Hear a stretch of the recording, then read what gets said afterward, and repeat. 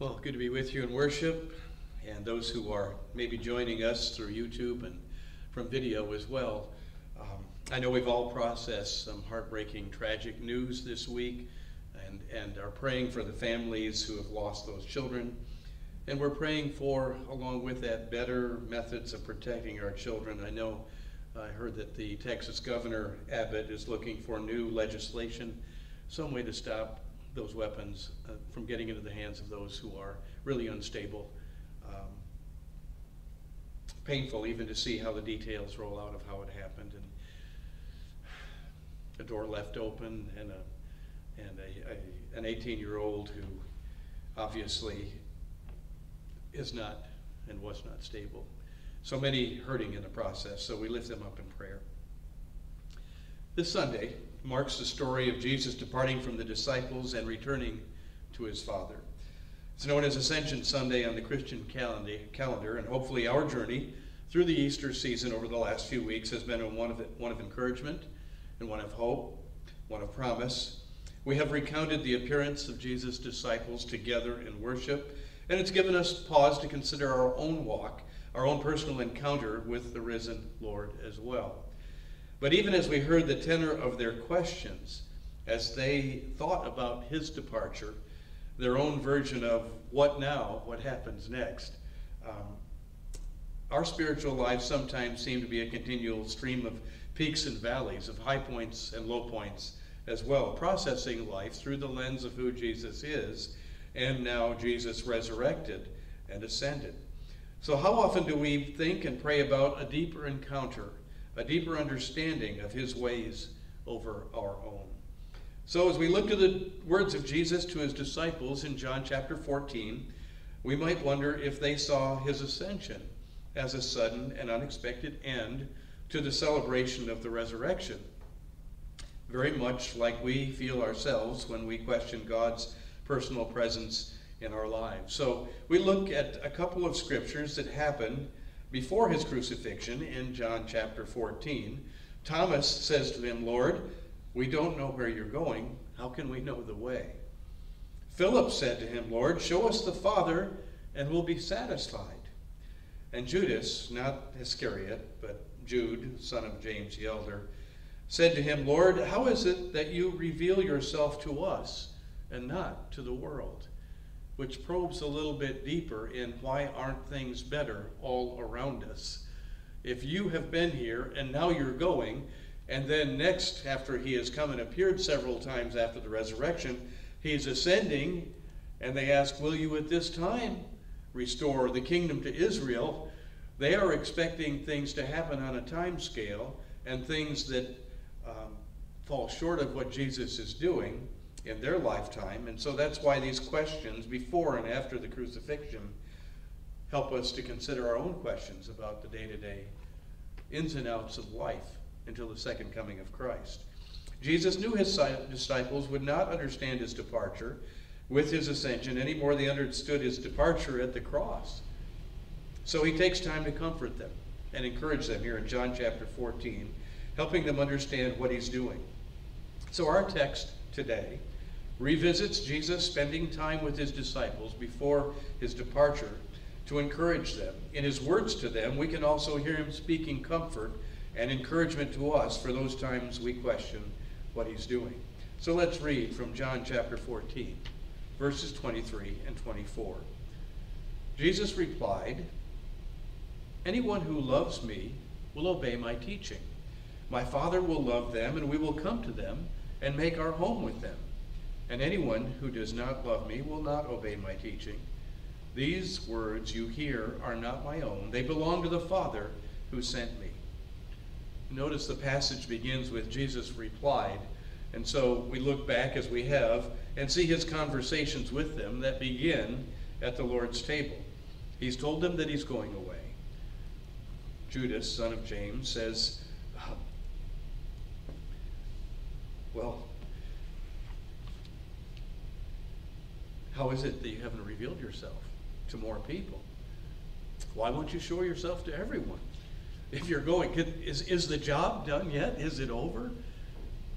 Wouldn't things be better in this world if others knew you, the healer, the source of life as we do, shouldn't you reign victorious over the whole world and the world recognize you as King and as Lord and Savior? We can continue to ponder and build upon James' question. Have you ever had that question? Maybe you've had it this past week as we think about the lives of those families, and we pray for them. We prayed for other families at Sandy Hook. We prayed for families at Littleton, Colorado. Don't you and I get tired of seeing the world continue to struggle with hatred, with death, with prejudice, with the loss of 10 year old lives because an 18 year old doesn't know his purpose for being alive? We do. We do.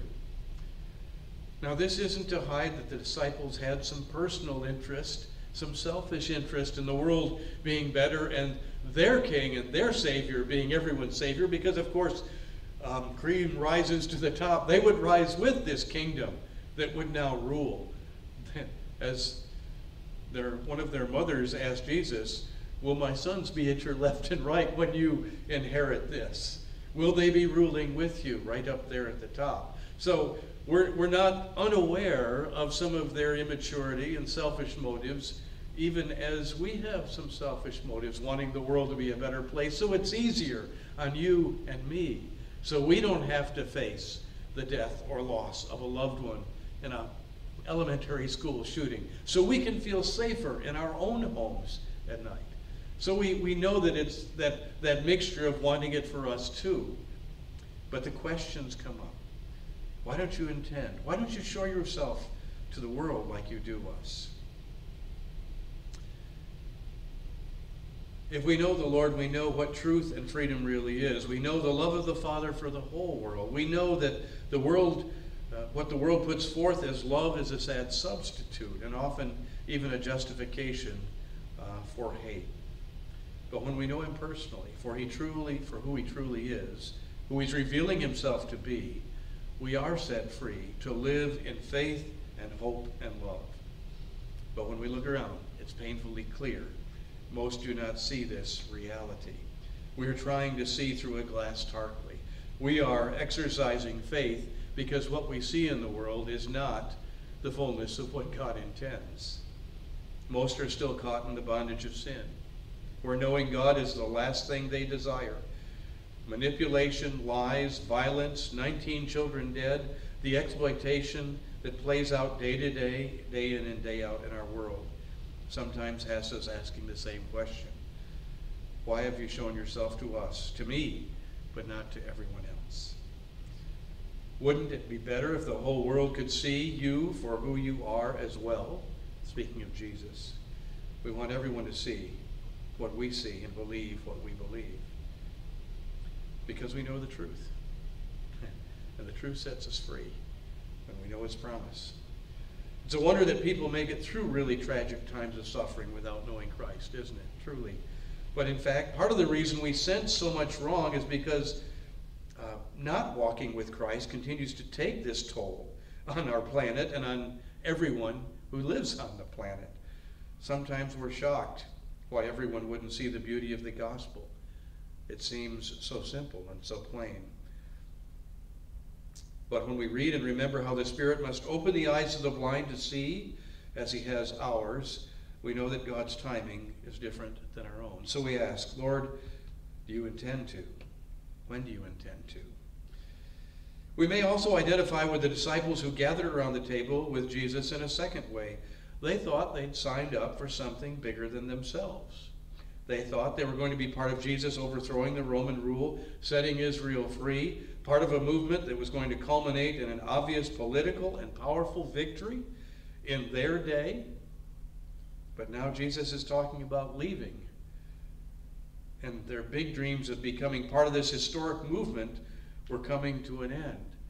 It seemed like there's been a political uh, rally but the inauguration is suddenly missing in their minds in front of the whole world instead of crucifixion. Like every other human on the planet, we want to be part of something bigger than ourselves. We desire to be part of something that's significant. We don't want to just live mediocre lives, we want significance of all kinds. but so much of what the world counts as significant leaves us empty and hollow. So, in knowing Jesus, we know we've encountered the most significant person and purpose in human history. And it's an exciting privilege to be included in what he's doing. So, when Jesus doesn't move as fast as we would like, or worse, when he moves in a direction that seems like um, he has done here for them, and, and it's not including us the way we thought, we may feel like he's letting us down. The original disciples must have felt and dealt with that feeling when Jesus told them he was going away. Where, how can we know where you're going? We haven't been there. You know, they throw these questions back at him as he's trying to prepare them for what's going to happen. But they would later have a better understanding of God's timing.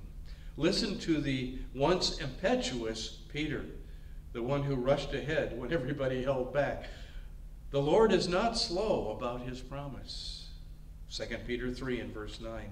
As some think of slowness, but is patient with you, not wanting any to perish, but all to come to repentance. And so, if we could pause there for a moment and reflect on the disciples' lives, Jesus delayed their big celebration because he wanted to include us in the invitation. And when we feel like it's got to be soup, it's got to be over, it's got to end, let's remember God doesn't count time the same way as we do. And He has other people's precious lives in mind, even as some die of sickness and in a horrible accident. That God has a big picture and a big plan, and He's the Lord over life. Peter continues, But the day of the Lord will come like a thief, and then the heavens will pass away with a loud noise, and the elements will dissolve with fire, and the earth and everything that is done in it will be disclosed. That all of what we struggle with so much in this flesh is going to be burned up, renewed, started over, reconstituted. Some of the things we're fighting for won't matter, don't matter, but it's what we're used to in the flesh. It's what we're culturally familiar with in the flesh. It's what we think we need to cling to in the flesh. So Jesus answers by reminding us of a bigger picture. He answered them the same way. Like the disciples around the table with him, what they were excited about fell short of what Jesus was actually doing. Like the quote we just heard from our president, Greg Williams, as he was quoting C.S. Lewis sometimes we would be happy with playing in a mud puddle when he's got a vacation on the seashore in mind because that's our, our, our goals are too small. Our love is too little. We may think now I'm a part of something that will give my life meaning, something that others will have to take note of. Maybe it's landing the job you've dreamed of your whole life, or when you're young, having a family of your own, or attaining a level of independence that was once beyond your reach. It can be any number of things that we see as giving us significance. And they may be very good things or even something not so good. But whatever level of significance we rise to, it doesn't take long to realize we still have a desire for more. Deep down, we know that we're made for more than anything that just this earth and the goals of this life, apart from Christ, could offer. Our souls continue to long for that elusive significance we are unable to give ourselves. And so Jesus' response to Judas may be a good reminder for us as well. Jesus responds with a picture. In answer to Judas' question, why don't you show yourself to the world as, as we know you? He talks about a relationship of belonging to the Father, a relationship of obedience grounded in love and not duty. Then he goes on to say that this is the relationship the Father wants to share with everyone with the whole world. The disciples wanted Jesus to give Israel a place. Jesus was up to something far greater. He is giving the world a place in Israel. A place he himself, as the Son of God, in relationship to the Father and the Spirit, wants to share in a cosmic level. Now, the disciples may have felt their significance was at risk. What about us? How, what's going to happen? Where are you going? How, what are we going to do? And often we do the same thing. We see Jesus as a way to fulfill our dreams and goals and miss the fact that Jesus is our dream. and our goal. We overlook the relationship brings to us that he talks about here in John, and then set our sights far short of the goal. In knowing Jesus and his Father by the Spirit, we will find a significance we cannot give ourselves. It's a significance that is in a relationship of love that has to be received as a gift of grace. He gives it to us. It is in his very nature to do so. It is wonderful. It is beautiful. We find it hard to believe and difficult to grasp.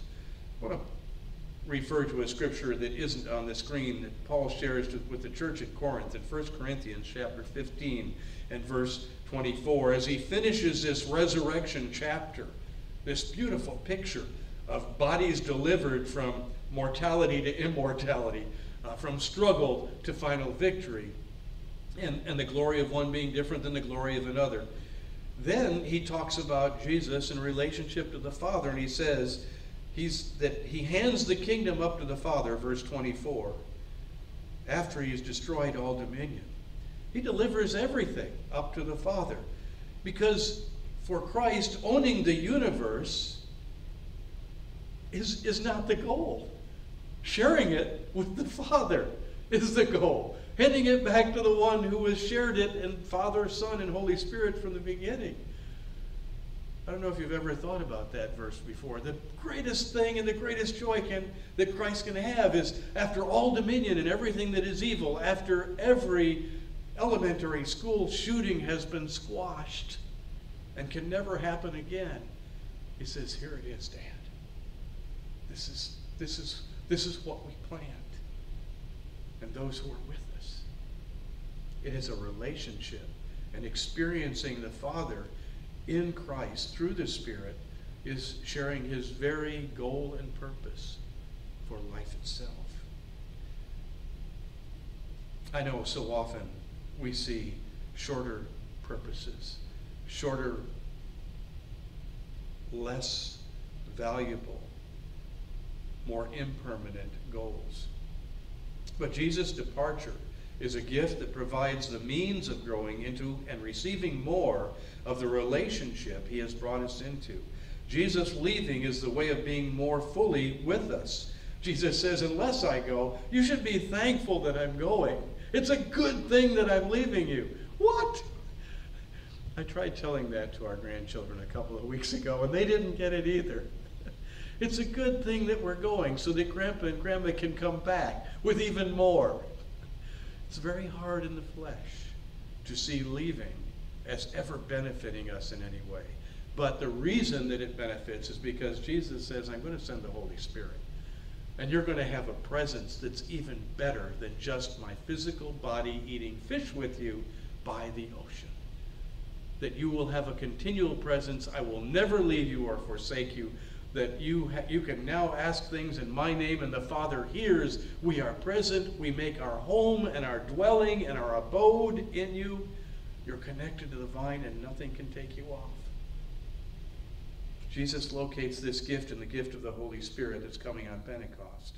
Just as a bride and groom must leave their father and mother to discover a new and very special relationship of a lifetime, we must be willing as well to leave our comfort zones, our cultural, our political, and even our familial backgrounds for a deeper relationship with Him. Let's look at John chapter 13, verse 25. All this I have spoken while still with you, but the advocate, the Holy Spirit, whom the Father will send in my name, will teach you all things and will remind you of everything I have said to you. You're not going to lose anything. In fact, you're going to remember things you've already forgotten. You're going to have a better memory of what it means to be in relationship with God when the Spirit comes than me standing here telling you about this miracle. Notice the Holy Spirit is not bringing something new or different than what Jesus has already given. Jesus is the Word of God already spoken to us, but the Spirit will continue to teach us, to help us unpack the significance of who this Word, Jesus, is to us and who we are in relationship to Him and the Father. And the Spirit not only teaches, He also reminds us of what Jesus has already said. And so the picture here is a significance we never move from. The Spirit aims to move us deeper into this truth. But he's not moving beyond it, as if there's something more that Jesus held back. Sometimes we may be tempted to think of Jesus in this way. And we may think to ourselves that now that we know who Jesus is, we can move on, move on to really deep waters. And perhaps we got our theology right, we can get to the real business of doing ministry, doing something significant with our lives. But when we think like this, we're revealing that we don't fully know who Jesus is. It would be like going back to 1 Corinthians 15 and Jesus, when he's conquered all dominion and all evil is squashed, then he takes the kingdom and says, Father, this is what I've been waiting for. It's all mine. Now I'm significant. No, that is not the direction of the relationship. Because the relationship ultimately is the goal. It's hard for us as human beings, as brothers and sisters growing up in families. It's hard for us as husbands and wives when we differ to know that the relationship is the goal. It's hard for us as neighbors and brothers and sisters in Christ. But Jesus has been telling us that over and over in his three and a half years with them. He said, if you bring your gift to the altar and then suddenly realize that you're at odds with your brother, leave the gift there. I mean, God appreciates the gift. Don't get, don't get me wrong, God speaking, but he said it's that relationship I'm looking for above anything else you could give me. That you would be in relationship with me and with your brother and with your son and with your daughter and with your neighbor that is reflective of the love of God dwelling in us. Now, that's our challenge. That's a big challenge, but it's a much deeper significance than anything we would strive for on our. And so, by God's grace, the Holy Spirit is sent to help us know Him more. We will discover that there's nothing more to move on to, nothing more significant than what we have in Christ. No, I'm not saying that we have nothing more significant than we have already experienced. Our experience of Christ has a lot of room for growth, both in this life and in the next. And we will find it the most significant thing in the universe, even as Jesus himself is that way with the kingdom. The son's relationship with his father is the most significant and eternal relationship there is, and we are invited to participate in that. In that relationship, we will find that our longing has been answered, fully satisfied in Jesus. The striving for significance will cease. In light of the great significance our inclusion in the Trinity gives us, we can trust that the Spirit, what He's doing in our present lives, is of great value and of great significance. Even the mundane is majestic, that every single event in every day can in some way point us toward our inclusion and our participation. From a sunset to a birthday party to a hug when someone has experienced loss. On top of this, he also shares with us his peace. Let's notice John 14, verse 27 through 29. Peace I leave with you. My peace I give you. I do not give to you as the world gives. Do not let your hearts be troubled. Don't be afraid. You heard me say, I'm going away and I'm coming back to you. If you loved me, you would be glad that I'm going to the Father, for the Father is greater than I. It just gets bigger here, folks. He said, it's not closing down. He said, greater works you will do than these. And the church has and will continue to. I've told you now before it happens, so that when it does happen, you will believe. He knew they couldn't fully grasp. He answers questions that they can't receive, but they do receive it. They do believe it. They do live into it when the Holy Spirit comes. Peter, who is impetuous, walks by someone and just the shadow falling over those who are asking for healing, and they go away healed. He contrasts this peace with what the world offers. At the best, the world offers a ceasefire, a temporary peace, a bit of conflict avoidance, no permanent solution to be found. But his peace continues even in the middle of our conflict and chaos and overrides it. The significance we gain in belonging to Jesus is one that is accompanied by peace. because nothing will ever separate us from the Father. No matter what we face, we're never alone. The one that faced the cross, the one that faced all dominion and all power and all evil, is with us every single day. Jesus knows the disciples are discouraged. He knows we get discouraged. He knows they're afraid because he told them he's going away and coming back. Then he seems to indicate that their fear and discouragement has something to do with their love for him. If they loved him, Jesus said, they would be glad that he's returning to the Father. He said, if you get this, you're going to rejoice with me that this is the way the plan is going. It appears that the love the disciples have for Jesus is a bit of a possessive love, not a mature love, but it will be ripened by the Holy Spirit's presence. They can't think of him going away as a good thing because they want to keep him around for their own purpose a little longer. But love for Jesus means we trust him in what he tells us. If he needs to go away, we can even be glad about it, even if we don't fully understand why, because we know in the end it is for our good and not just for ours, for the entire world. Doesn't mean we're not sad at his departure. It doesn't mean we're not sad when we lose a loved one, but it's a sadness that is fitting to the undergirding peace and the joy that comes in trusting in him as Lord and Savior. Jesus and his Father don't do anything to our harm. God is love. To love Jesus and his Father is a peace and a freedom on a scale that the world can't offer. And even this love is a gift of God's grace. So notice how he ends the passage. He's telling the disciples that he is leaving for a good purpose, that he intends to build their faith, not squash it. How often do we hold back telling someone the good news news they don't want to hear, but need to hear for their own good, simply because we don't want to upset the apple cart or hurt feelings. Thankfully, our Lord loves us enough to upset our feelings, which are fleeting, in order to build our faith in that which is permanent. Jesus was willing to disappoint his disciples in the moment so that they could enter a greater joy, a fuller joy, a truer joy. He is the way, the life, and the truth. And he's committed to bringing us into this significant peace with his Father that he shares with us by the Spirit. Let's pray about that. Father, like the disciples, we who have the Holy Spirit still feel the discomfort of a world that doesn't know you fully, even as we come to know you more completely. Strengthen our faith.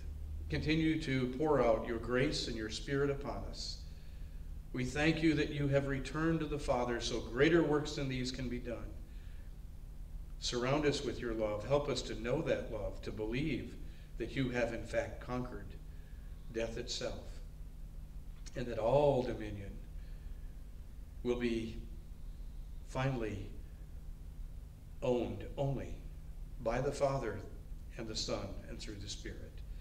And that with great joy we too will lift up all that we are, all that we have, and all that you've created to your glory, singing to your glory continually.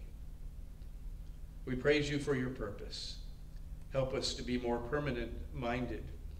And Father, again, we lift up those who've lost loved ones here this past week, that they may see a fully fuller picture of your promises and know that you are the God of the resurrection, that you are the God of all comfort, that when everything seems to fall apart, we can still lean on and trust and know your peace because you're eternal life. You are eternal life in Christ. And so we ask these things in his name. We give you thanks in Christ's name.